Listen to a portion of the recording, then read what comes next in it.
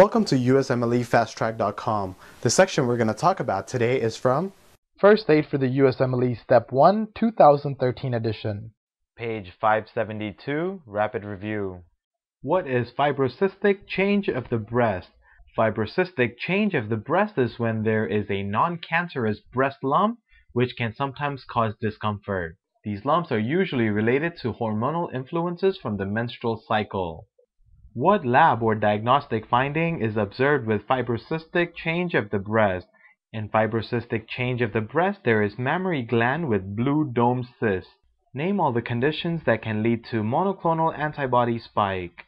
Monoclonal antibody spike can occur in multiple myeloma, in which there is usually a spike in immunoglobulin G and immunoglobulin A.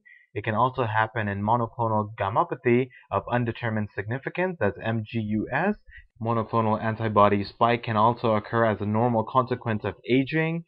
Monoclonal antibody spike also occurs with Waldenstrom's macroglobulinemia, in which there is an increase in immunoglobulin M. And lastly, monoclonal antibody spike also occurs with primary amyloidosis.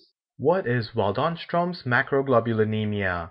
Waldenstrom's macroglobulinemia is a cancer of the B lymphocyte which is a type of white blood cell, and this is associated with overproduction of proteins called immunoglobulin M antibodies.